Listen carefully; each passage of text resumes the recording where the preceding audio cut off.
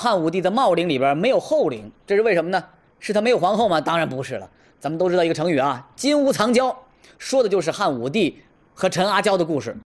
当时刘彻还很小，不到十岁，也不是帝位继承人，但是他从小就机灵的不得了，讨人喜欢。来，姑姑给你找一个媳妇儿，好不好？好。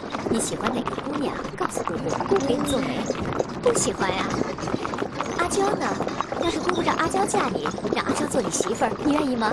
嗯，要是阿娇姐姐肯嫁我，我就造一个大大的金屋子，让阿娇住在里面。金屋藏娇就是这么来的。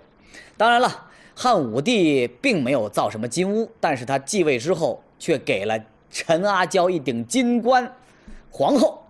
那您肯定要问了，既然有皇后，那么为什么陈阿娇没有葬进茂陵呢？这个呀，那就是陈阿娇自己的问题了。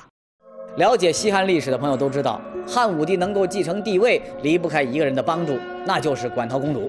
看我怎么说的，这孩子呀，比那太子伶俐得多，老太太最喜欢他了。老太太最疼爱的，也就是她了。作为窦太后最疼爱的女儿，汉景帝最亲近的姐姐，馆陶公主为刘彻登基确实做了大量的工作。但是问题也来了，陛下，你陛下，陛下，难道在这么多人面前，陛下一点都不给臣妾面子？我不让你走。你给朕面子了吗？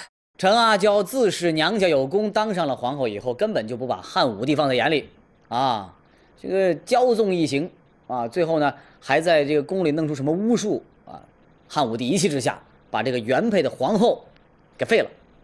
那有人又要问了，既然汉武帝没有皇后，后来又那么喜欢李夫人，为什么在他生前不册封李夫人为皇后呢？哎，这就不得不说到他的另外一位皇后，历史上大名鼎鼎的卫子夫了。卫子夫出身很低贱，是一个歌姬，但是此人品行贤德，很有内秀，而且很聪明，看问题往往一眼就能看到本质，做事情也很得体，什么时候该做什么，不该说什么，拎得很清楚，所以很得汉武帝的喜欢。最后。封了她为皇后，她的儿子刘据也被立为太子。但是谁也没想到，公元前九十一年，一桩惊世大案却让卫子夫这位千古奇女子没能善终啊！怎么呢？咱们知道，古代帝王都有一个通病，迷恋皇权，迷恋权力，而且是越成功、功绩越大的人，晚年往往越发迷恋，总会担心有人抢蛮夺权。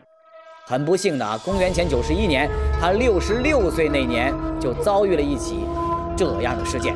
那天呢，有一个名叫江充的人，汉武帝非常宠信的一个大臣，偷偷的向他报告，太子刘据动用了巫蛊之术，在家里边埋了小人儿，咒他早死。汉朝时候很多人信这个啊，信巫术。汉武帝一听怒了，你给我查吧，立马就派了江充查抄太子府，查到没有呢？在太子府果然抄出了小人儿，这下可了不得了，证据确凿，太子被逼无奈自缢而死。而同时呢，作为太子母亲的皇后卫子夫也因难辞其咎，最后被迫自尽身亡。皇后太子就这样死了。但是您不知道啊，事情并没有就此结束。据史料，因为此案受牵连入狱的多达几十万人，最后直接被杀的也有好几万。案情影响之大，波及之广，是旷古烁今。这起大案史称“巫蛊之祸”。那么，太子刘据真的是想篡权夺位？皇后卫子夫也真的参与其中了吗？事后查明，所谓巫蛊之祸，不过是小人导演，武帝失察，从而制造的一桩千古冤案。原来呀，那个小人江充，并没有什么真才实学。只会拍刘彻的马屁，这让太子刘据非常讨厌。江充由此担心，一旦武帝驾崩，太子继位，自己很可能就没有好下场。于是他设计诬陷了太子。而晚年对皇权的迷恋，让汉武帝蒙蔽了双眼呐。最后小人得逞，这应该算是汉武帝一生的一个污点了。据说得知真相之后啊，汉武帝是悔恨不已。由此。史学家认为，巫蛊之祸之后，刘彻没有再立新的皇后茂陵，也不设置后陵，这应该是汉武帝想表达对魏皇后的追思吧。